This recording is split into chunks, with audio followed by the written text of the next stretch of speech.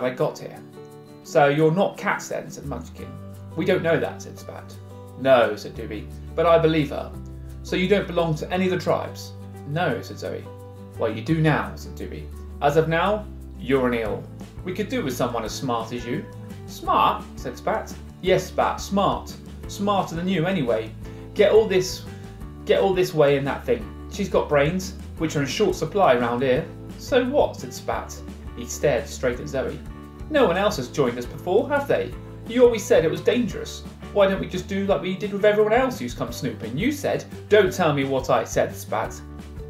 Zoe saw Munchkin take a couple of steps away from the other two, automatically. Yeah, but Doobie, we always do, don't we? You said so. I said shut it. Doobie snapped at Spat. There was an uneasy silence for a while. Spat seemed to realise he'd pushed it, and shrugged his shoulders. Zoe saw the anger slip off Doobie's face. Thank you, Spat. Anyway, you're not afraid of a girl, are you? Munchkin sniggered. Obviously pleased himself, Dewey turned back to Zoe. So, you're an eel now, Zoe. So you're an eel now, Zoe. But I don't. I said you're an eel. No arguments. Unless you'd like to give the water a try without your boat. Zoe shook her head slowly. She was too tired and hungry to argue anyway. She didn't even have the energy to wonder what sort of weird setup she had walked into. Let's go back to the base then, lads.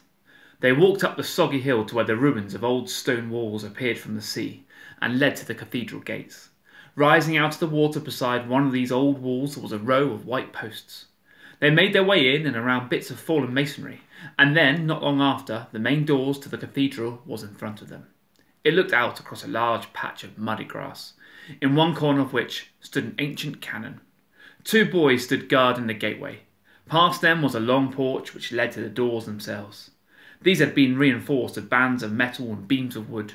The two gatekeepers nodded at Doobie, meekly, though they were much bigger than him. All right, Doobie, said one. The other nodded. Neither smiled. One of them shoved hard, and the door to the cathedral swung open. Well, Zoe, said Doobie, welcome to hell. Zoe had seen some unpleasant sights before, but nothing in Norwich was like this. Once more she began to wonder if she'd done the right thing in leaving at all. Huddled in small groups around smoking fires with the scraps of people. Their clothes were hardly more than rags, and were obviously the result of some fairly primitive sewing skills. Doobie and his two thugs were dressed like kings compared with the others in the cathedral. Zoe looked at her own clothes. She'd mended and, pa- and patched them countless times, but they seemed almost new now. Once inside, Doobie turned to Spat and Munchkin. You've got things to do, he said, and they both went off into the gloom. Zoe and Doobie walked up the aisle in the centre of the cathedral. Zoe couldn't help staring. She stared at the building that once been magnificent. The floor was thick with dirt and heaps of rubbish. There were broken windows and broken furniture. It was a mess. Then Zoe stared at the people who were living in it. They were in just as bad a state as the building. So far, she'd only seen children, many of them younger than herself. Aren't there any grown ups here? Zoe asked. She felt it was the right thing to ask, though she didn't know why. It had been a long time since she'd had any help. Doobie didn't answer. Some of the people eyed Zoe suspiciously as Doobie walked her up the aisle, but most just ignored her. They looked un- underfed and wild. The smoke from all their fires drifted away up above in the vaults of the ceiling. Doobie was right. There was something infernal about the place, and it stank. The worst thing about it was the smell of rotten fish. Where do you grow your food? Zoe asked, turning to Doobie. Doobie laughed. Grow? We don't grow food. But what do you eat? On Norwich we had a few animals to breed from, and then there were the allotments. There's nowhere to grow food, and there's no food to feed animals, even if we had any. The island is only a mile long and half as wide. There's no space. It's all buildings and ruins of buildings.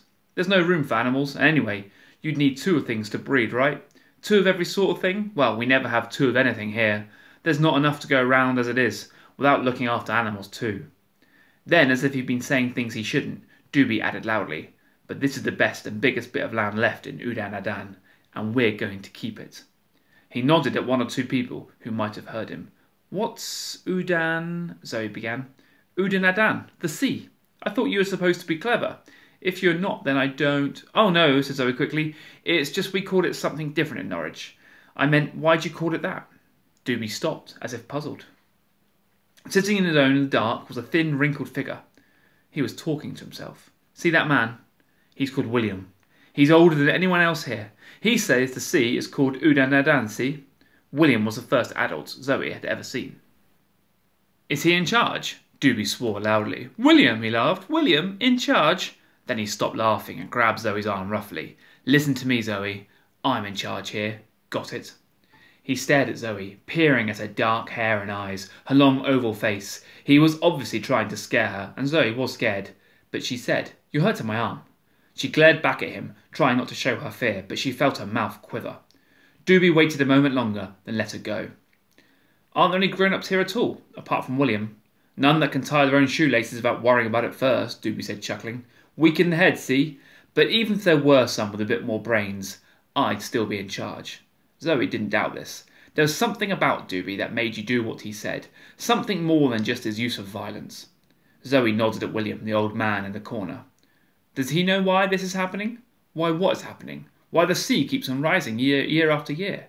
Where it comes from? If it will stop before there's nothing left? No one knows that, said Doobie. William will tell you he does, but don't believe everything he says. He's mad. Doobie laughed. They walked on through the cathedral until they reached the choir stalls. They were alone now. In Norwich, some of them said it wasn't the sea rising, but the land sinking. Doesn't make much difference, does it? All I know is that for longer than I can remember, there's been the sea coming to get us, and it's left us like this, like rats on a sinking ship. But I'm not going to let it happen to me. Get some rest. Munchkin's getting some food for you. Find yourself somewhere to sleep later on, because I want your help.